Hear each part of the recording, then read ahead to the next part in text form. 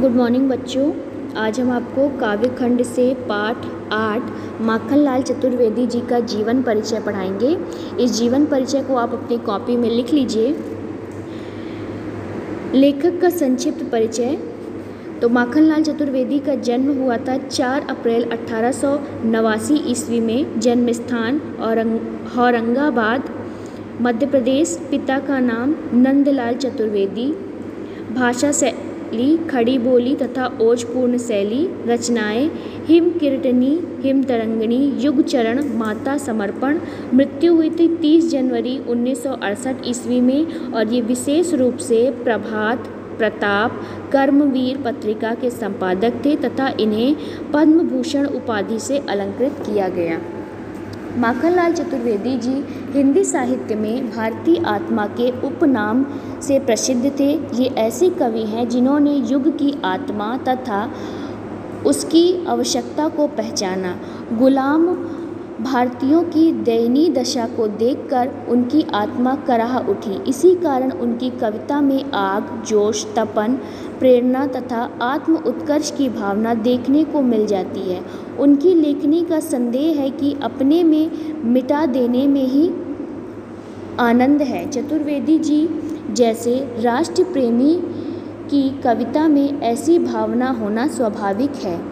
जीवन परिचय। माखनलाल चतुर्वेदी का जन्म 4 अप्रैल अठारह सौ नवासी ईस्वी में मध्य प्रदेश के होशंगाबाद ज़िले के बवई नामक ग्राम में हुआ था। इनके पिता का नाम पंडित नंदलाल चतुर्वेदी जी एक कुशल अध्यापक थे। इन्होंने प्राथमिक शिक्षा विद्यालय में प्राप्त करने के पश्चात घर पर ही संस्कृत, बंगला, गुजराती, हिंदी और अंग्रेज़ी भाषाओं का ज्ञान प्राप्त किया। कुछ दिनों तक अध्यापन कार्य करने के पश्चात चतुर्वेदी जी ने प्रभा नामक मासिक पत्रिका का संपादन किया। ये खंडवा से प्रकाशित कर्मवीर पत्र के, का संपादन और प्रकाशन करते थे। श्री गणेश शंकर विद्यार्थी की प्रेरणा के संपर्क में इन्होंने राष्ट्रीय आंदोलन में भाग लिया और अनेक बार जेल यात्रा भी की।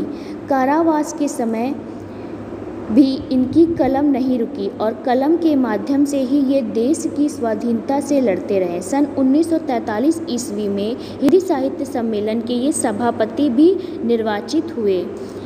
इनकी हिंदी सेवाओं के लिए सागर विश्वविद्यालय ने इन्हें डीलिट की उपाधि से तथा भारत सरकार ने इसे इन्हें पद्म विभूषण की उपाधि से अलंकृत किया।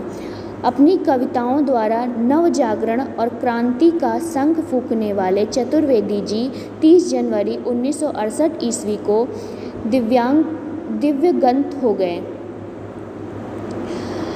इनकी रचनाएँ, इनकी रचनाओं में कविता संग्रह है हिम कीर्तनी हिम तरंगिनी माता युग चरण समर्पण, वेणु, लो, गुंजेधार, रामनवमी और गद्य रचनाएँ हैं साहित्य देवता कला का अनुवाद, संतोष, बंधन, सुख और कृष्ण अर्जुन युद्ध। तो यह एक नाटक है और संपादित पत्र में प्रभा, कर्मवीर, इन, इनकी मासिक पत्रिका थी और हिंदी साहित्य में स्थान। माखनलाल चतुर्वेदी हिंदी साहित्य के ओजपूर्ण, भावात्मक शैली के ओजस्वी कवि हैं। राष्ट्रीय चेतना के ओजस्वी कवि में इनका मूर्ध्य स्थान है। तो बच्चों, ये हो गया माखन लाल चतुर्वेदी जी का जीवन परिचय। आप इसे अपनी कॉमिक में लिख लीजिए। आज के लिए बस इतना ही।